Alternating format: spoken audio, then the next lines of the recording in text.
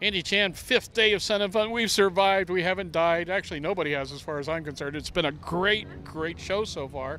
And let's face it, um, I haven't gone past this airplane yet without there being, you know, 10, 12 people around at any one time. Tell us, what's the status right now of the Panthera program?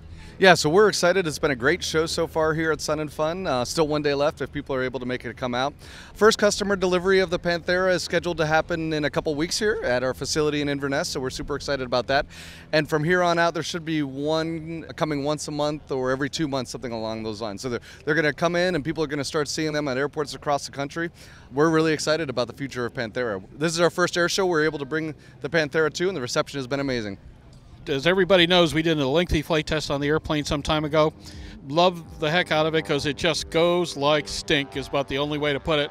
And the best part is, it's got good manners throughout the process. What has been your experience in what kind of person's getting attracted to Panthera, and more important, what are they really expecting out of the airplane? Of course, a lot of customers are already aircraft owners and they're upgrading from other different makes and models. People really enjoy the comfort that the aircraft offers, the efficiency the aircraft offers, and of course, most importantly, the safety features that it has. We're getting people from all different walks of life loving the Panthera. So deposits are coming in, and if someone's interested, we uh, encourage you to place a deposit because there's more than 150 orders for the certified product at this point in time. And what's the timetable looking like now on the certified airplane? Unfortunately, COVID does play a role in delaying the certification. So right now, we're looking at 2023 for certification, uh, mainly because EASA has laid off a number of people and they're working remotely.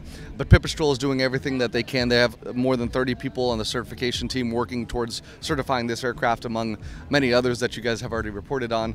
So it's not for a lack of Pipistrel's response. It's uh, just uh, getting through the regulatory bodies. So the aircraft is available uh, right now as an experimental exhibition aircraft. It does require that you demonstrate the aircraft at an air show such as this once a year, and uh, it has a couple other restrictions on it, but it's it's pretty open and uh, and welcoming. We've already sold quite a number of experimentals, but mainly at this point in time we're focusing on the certified slots. Andy, thank you so much on the fifth day Sun and Fun 2021. Panthera, you want to go 200 knots? You're a bird. Thank you much.